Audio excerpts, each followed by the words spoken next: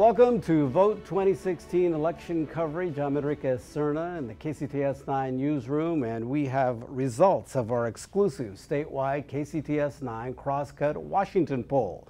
Joining me now is Christopher Parker, University of Washington political science professor and also director of the Washington poll. Now, Chris, uh, tell me when we were in the uh, field with this poll, a little bit of background about it. Sure. The poll was fielded um, the first week of October as an online survey. Um, we interviewed about 750 people throughout the state of Washington, and the margin of error is plus or minus four. All right, so let's get going to the results. Uh, one of the things we asked uh, right off the bat was how things are going in Washington state and whether people think that we're generally headed in the right direction, seriously on the wrong direction, pretty much the same. And actually, people are, are thinking that we're doing okay at about uh, 55%, almost 56%. Uh, about 44% felt we're going in the wrong direction. But uh, I think people are looking either at the economy and yeah. thinking that it's working pretty well. Yeah, the economy is doing doing really well. There's a recent report out in which um, the state of Washington was came in first when it comes to job production and wages, and so generally, you know, people if people are happy with their pocketbook, people generally are happy. Yeah, they may not be completely happy, but at least uh, they see some hope here, and that uh, there's some uh, things going well here in the state of Washington. Yes, Let's sir. turn now to the governor's race. Uh, we asked if the election were held today, whether they would vote for the uh, Democratic uh, incumbent, and that's Jay Inslee, or the Republican challenger, and that's Bill Bryant. Jay Inslee is leading at just over 51 percent. Bill Bryant comes in at 45%. But there's more to this, actually, that is uh, beneficial to Inslee as you look at these numbers. Yeah, so the, so the issue is, is that these numbers that Enrique just quoted, these include people who we term leaners. That is to say, people who are undecided, but as pollsters, we say, okay, we understand you're undecided, but if you had to vote, if you had to pick, whom would you pick?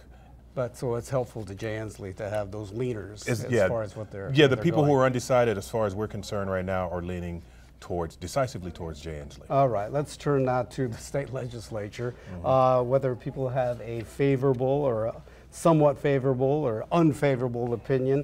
Uh, at this point, they have a somewhat unfavorable opinion of the legislature, and I'm sure that a great deal of that is that they look at uh, what they consider to be gridlock, yep. and also the issues of uh, funding of public education is a big, big issue. Yeah, that yeah that that continues to be a burr under the collective saddle of uh, of the uh, the uh, Washington lawmakers. State, yeah, yeah, yeah. and All right. lawmakers as well. Let's look at the Senate race, and this is where we have uh, the Democratic incumbent, longtime Democratic incumbent Patty Murray, uh, facing Republican challenger Chris Vance. Mm. Patty Murray uh, having a comfortable lead at this point at uh, just over 55%. Chris Vance 39%, uh, just a little bit over 39%, but he's got a tough road if he's going to try to uh, defeat Patty Murray at this point. Isn't looking good. All right. Now, we also asked uh, what people viewed of Congress. Uh, mm -hmm. And again, it's like uh, what they thought of our state legislature. Mm -hmm. the uh, lawmakers are not getting a very favorable view. At this point, most people say very unfavorable. I'm sure it's the gridlock that's going on there, the infighting that's going on there. 47% uh, people very unhappy with what is happening in Congress and the fact that not much is going on there. Presidential race. Uh, we look now at Hillary Clinton, the Democrat, versus Donald Trump, the Republican. we're a blue state, mm -hmm, uh, and mm -hmm. Hillary Clinton is uh, doing well, over 50%, yeah. 53% uh, to Donald Trump's 39%. Yeah. And, and if you look at the numbers, break them down easily. I mean, Puget Sound is always going to be strong for mm -hmm. Democrats, and mm-hmm. Hillary Clinton doing very well there. Uh, Eastern Washington, uh, Donald Trump is going to be yeah. doing well there. Yes, yes. So that's how it's going to break down. All right, let's look at the uh, statewide initiatives. We have several on the ballot this year. The first one has to do with uh, Initiative 1433, and that is the minimum wage increase. And at this point, it's looking uh, very good for this yes on 1433. 62.2% uh, say that they are favoring uh, this uh, initiative, and it's a pocketbook initiative. Yeah, it's definitely a pocketbook initiative. It's doing really well in the state overall. But even if we break it down by region, 71% um, in Puget Sound, you know, support it. versus 50% of Eastern Washington. It should come as no surprise that it gets such support in Puget Sound because we just passed this $15 minimum wage issue in, in uh, King County recently. Right, okay. Moving on now. Uh, the next initiative is uh, 1491. This is a uh, firearm restriction. It has to do with actually risk protection uh, for those that are concerned about someone that might be a family member that they know that may have uh, access to a firearm. They're concerned and, and being able to, re to report to have some action done in order to keep uh, from uh, some incident happening. Uh, and this is leading overwhelmingly, uh, almost 70% of the folks are, are in favor of this issue. Yeah, this is very true. Even in Eastern Washington is polling at above 50% and 56%. So, you know, that, that bodes well for this, for this um, initiative to pass. Yeah, and I think also the fact that we've had incidents happening around the country yeah. and people who are uh, very attuned to these types of concerns right now. The next one is this is an initi initiative that's very interesting, interesting, and that's the Carbon Tax Initiative 732. Right now, it is leading uh, at 51%, no vote at 43%, just uh, slightly over 43%. So this could actually go either way. Um, and so, once again, voting just started here in the last week. So, don't be surprised if this actually doesn't pass. All right. We also asked about the uh, funding of public education, a big issue here in Washington State, as the Supreme Court is pushing the legislature to act on this. Uh, people ask if they agree or disagree that the legislature should uh, provide more funding for education. Should come as no surprise that nearly 50% of the voters that you polled said yes, they need to do something about this. Yeah. Uh, I guess they're just waiting for the legislature yeah. to actually yeah. do something about this. Yeah. That's the main thing. Well, but let's let's let's be a little more specific. 50% strongly agree with that, right? But there's another 28% that also somewhat agree with that. So it's way above the above and beyond the bar that this is likely to pass. Right, right. So people want that to happen. Yes. So uh, legislature, they say, get moving on this whole issue. Mm -hmm. We also asked about some other issues that are uh, concerning uh, voters here in our country and also in our state, and that's about immigration and also mm -hmm. the status of the undocumented. Uh, we asked is, uh, whether the undocumented immigrants should be allowed to remain in the U.S. to become citizens, and that's if they meet requirements like paying back taxes taxes and fines, learning English, uh, pass a background check. And uh, most people strongly agree with this. Uh, the disagree is about half of this, but if you look at, you combine the numbers of strongly agree and somewhat agree. agree, it's, it's, you yeah, know. It's well over 70% that agree in some way, shape, or form. And understand that uh, we called this question from the original Senate bill, Senate Bill 744, that was an attempt at comprehensive immigration reform at the national level which it did pass the Senate, but did not pass the House. And it, it, so we're still waiting on that. So this is based, this question is based on that bill. So if this were to happen in the state of Washington, then we would have well over 70% that would approve it.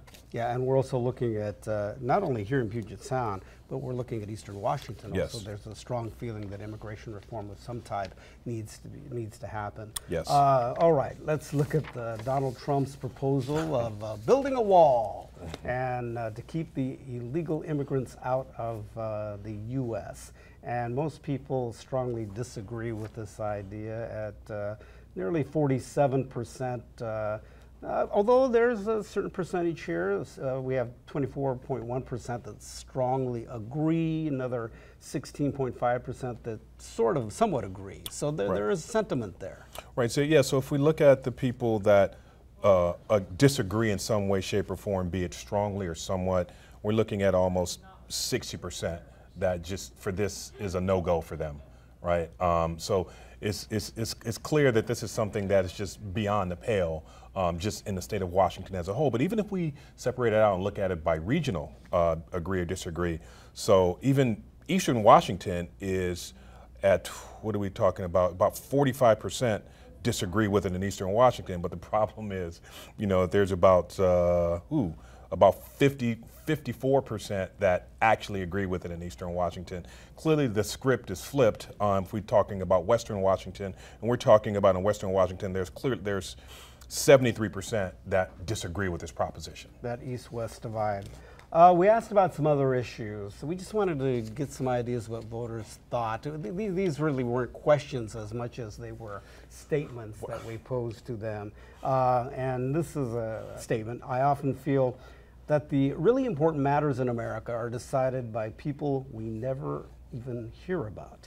And uh, we have a really a huge number here. Uh, very concerned about this, very concerned at 32%. But if you uh, combine the numbers of those who are somewhat concerned, it's like well over 70%, almost 80% of people concerned about this. Almost 80%. So this question gets at the political climate in which we currently live, right? There's a lot of suspicion out there and you know about who's actually running the country as a country. I mean, think about what's been happening, you know, for the last 18 months since you know who you know has been on the national political scene. Who? Oh, oh, oh yeah, Donald, Trump, Trump, maybe. Right. Yeah. yeah. And so it comes as no surprise, you know, that we get these sort of figures. But once again, if we look at the East-West divide, um, Eastern Washington, that's 86 percent are concerned that there are matters in America that are decided by people who we never hear about. If you look at Western Washington, it's 75%. So, so this, is an, this is an issue across the board, it seems, right? This is indicative of just how toxic the current political climate is. Yeah, as it becomes in this whole presidential campaign, I think is added to all of this. Final question or a final statement here. Uh, the true American way of life is disappearing so fast that we must do anything and everything to save it. Uh, 30.9% of the people are very concerned about this issue. Uh, but if you do add the somewhat concerned, it's, it's well over 60%. Uh, the people are, are concerned about the way the country is changing. And, and I suppose it could be so many different things about this. It could be, yes. So this could be a reference to immigration. This could be a reference to the changing demographics overall when it comes to race. This could also be indicative of the idea that there is cultural change happening too, right? And what I mean by that is cultural change, you know, the increasing visibility of, you know, the same-sex movement, right? And also the increasing visibility, surprise, surprise, of women and women in positions of power. That makes a lot of people nervous. And also, I think we're seeing uh, concerns about uh, race and police uh, uh, interactions and Black Lives Matter growing? Well, but yeah, but it's more it's more this of a reaction to Black Lives Matter. It's not about you know the way people of color are reacting, saying, "Oh, this is the America that we've come to know and love is going away," because we never really achieved that America. It's the people on the other side of the divide who see that their way of life is changing, and we must do or they must do something to preserve it. We are going to be releasing more of our exclusive uh, KCTS 9 Crosscut Washington poll. Uh, the results, we'll be releasing those uh, as we get closer to the election. And uh, we're going to be looking at these critical issues, some of these statements that we just brought up here. Critical issues such as race and police relations, as well as uh, the environment and immigration, and voter concern about direction of the country. And so we'll delve deeper into those issues as uh, we get closer here to the election. Christopher Parker, thank you very much for oh, your time. All right. All right, I'm Enrique Cerna, and this is Vote 2016 election coverage, and we'll talk more next time.